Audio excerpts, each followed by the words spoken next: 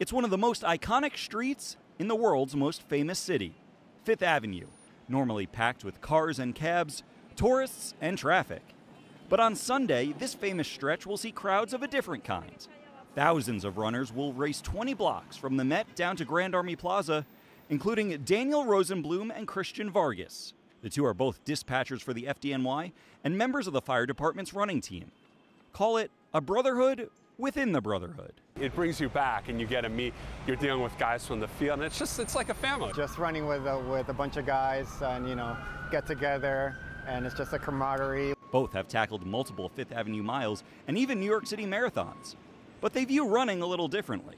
Christian is shooting for a sub five minute mile. Daniel, he's just hoping to finish. It's over quick. I mean, some of the guys I'll be running with, they'll be done and I'll still be running a few minutes behind. Helping Daniel get across that finish line, a little friendly competition. This year, there will be a separate heat just for the FDNY and the NYPD, both united in keeping our city safe. But make no mistake, the rivalry between the bravest and the finest is a fierce one.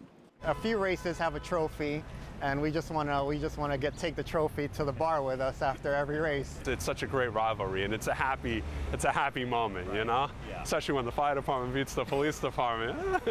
the race will also take place just days before the 23rd anniversary of the 9/11 terror attacks. That day, always top of mind. I was a kid when, when it happened, but it just it just adds a great honor to be able to wear this shirt and run with these guys.